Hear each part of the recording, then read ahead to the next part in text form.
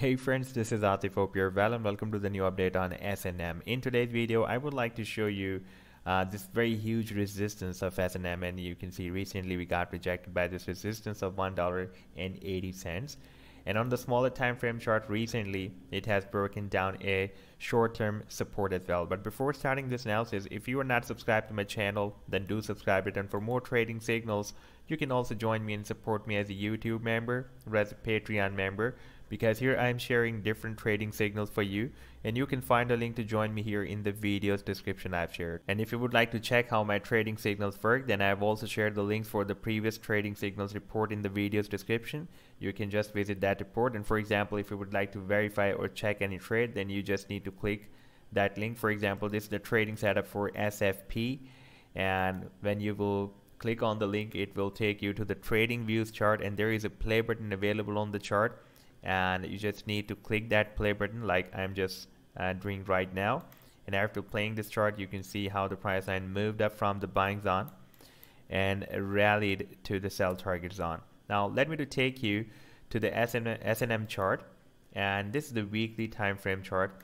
And here we can see that SNM had a very very powerful rally from uh, May 2022 up till this high of November 2022 it rallied more than 42,000% and from this low of uh, November up till this high of the same month of November it rallied uh, more than 9,000% and now we are having another correction move. And after this correction move the price line again moved up. And by the way here we had a long-term support at 89 cents and after breaking out this support uh, because it was working as a resistance after breaking it down. Now after breaking out this resistance the price line reached the next resistance of $1.80 and now you can see it is again rejected by this long-term resistance. Previously you can see when we had this rally we got rejected by this resistance here. Then we had another rally we had a long spike but could not break it out and we had another move to the upside and again we got rejected by this resistance. You can see this red candlestick. And after this rejection we also broke down the next support of 89 cents as well. This that was by the way a quite strong support. Previously this level had been working as a resistance here resistance here and when we had this rally you can see we got rejected by this resistance here and then we had another rally we got rejected by this resistance of 89 cents. Now it can again work as a strong support because previously it has been working as a strong resistance.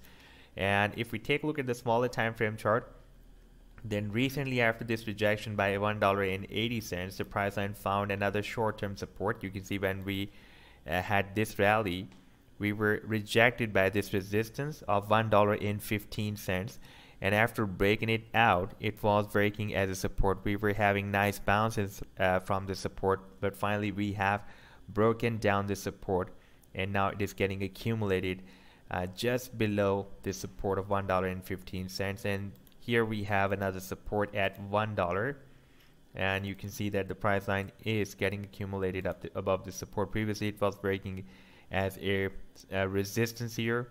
And now you can see for the past several uh, hours it is breaking as support. We had a bounce here we had another bounce here. And at the same time SNM has also formed a small uh, falling wedge pattern as well. By the way we are now on the hourly time frame chart. Previously we were watching here on the weekly time frame chart and this is the very small time frame chart hourly time frame chart. And here we have uh, formed this uh, falling wedge pattern. And you can see that the movement of the price line inside this falling wedge pattern is getting more and more squeezed. Therefore at any time it can break this pattern uh, even though it is a bullish bias pattern but it is also possible that it may continue its move to the downside in that in this uh, falling wedge pattern. And after testing this support of 80 89 cents then it will break out uh, the resistance of this falling wedge now for example if the price line breaks down this falling wedge from from here then our target can be very low from here that is approximately at 60 cents. That I'm not expecting because this is a very long term and strong support of 89 cents. And for example if we will have a breakout from here uh, then our target can be here at the top of the wedge. That will be again at $1.80 in my point of view there is a probability that the price line may test the support of 89 cents.